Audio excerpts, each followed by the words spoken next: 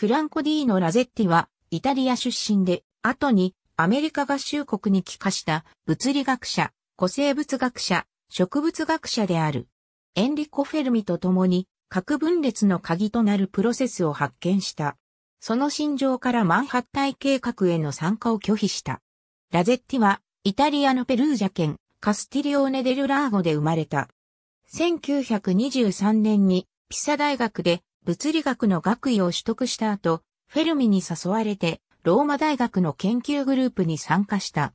1928年から1929年にかけてカリフォルニア工科大学に滞在し、ここでラマン効果の実験を行った。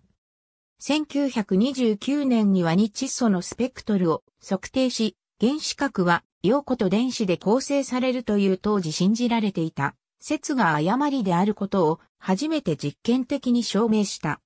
1930年には当時まだパニスペルナ通りにあったローマ大学物理学研究所の分光学の教授に任命された。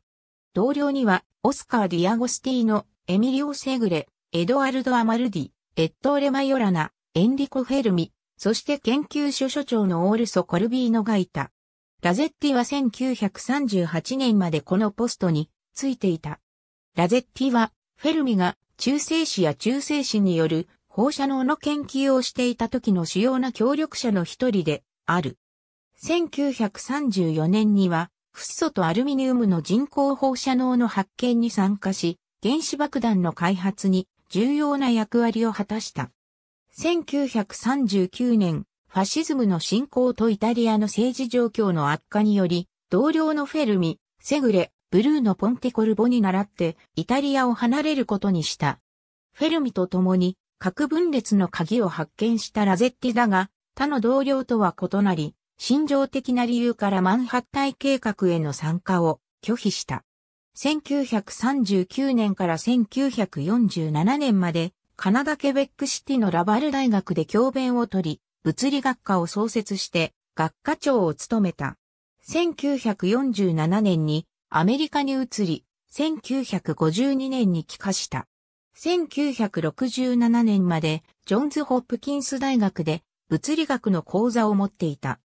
1950年代以降は子供の頃から興味を持っていた物理学以外の自然科学の分野の研究に徐々にシフトしていった。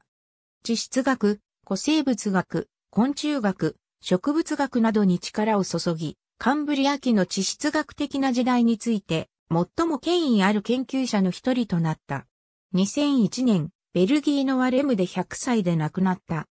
ネイチャー氏の追悼記事では、ラゼッティは最も多作なジェネラリストの一人であり、その仕事や文章は優雅さ、シンプルさ、美しさで注目されていると記されている。有機液体によるラマン効果が発見された後、ラゼッティは1928から29年にかけてカリフォルニア工科大学に滞在している間に高圧化の気体における同現象を研究することにした。そのスペクトルは回転微細構造を持つ振動繊維を示していた。ラゼッティは H2、N2、O2 のような同角の2原子分子では強い線と弱い線が交互に現れることを発見した。この交代現象はゲルハルト・ヘルツベルクとバルター・ハイトラーによって核スピンの異性化の結果として説明された。二水素の場合、核原子の原子核はスピンが1、2の陽子であるため、量子力学とパリの排他原理を用いて、奇数の回転順位が偶数の順位よりも多く存在することが示される。そのため、ラゼッティが観測したように、奇数の順位から発生する繊維はより強いものとなる。一方、ラゼッティは、2窒素では、偶数順位から発生する線が、より強いことを観測した。このことは、同様の解析により、窒素の核のスピンが整数であることを示唆している。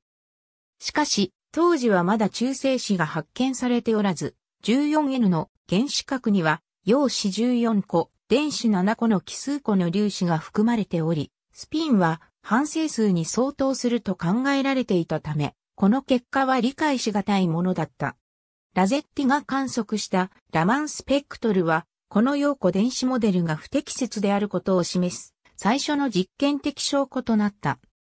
それは、反整数のスピンが予測されると、ヘルツベルクとハイトラーが2水素について示したように、核スピンの異性化により、奇数の回転順位からの繊維が、偶数の順位からの繊維よりも強くなるからである。1932年に中性子が発見された後、ベルナー・ハイゼンベルクは、原子核には陽子と中性子があり、14N の原子核には陽子7個と中性子7個が含まれていると提唱した。粒子の総数が玉数個であることは、ラゼッティのスペクトルと一致する積分スピンに対応する。また、ラゼッティは、一酸化窒素の電子ラマン三段の最初の例を挙げている X また、ラセッティは一酸化窒素の電子ラマン三段の最初の例を挙げている。ありがとうございます。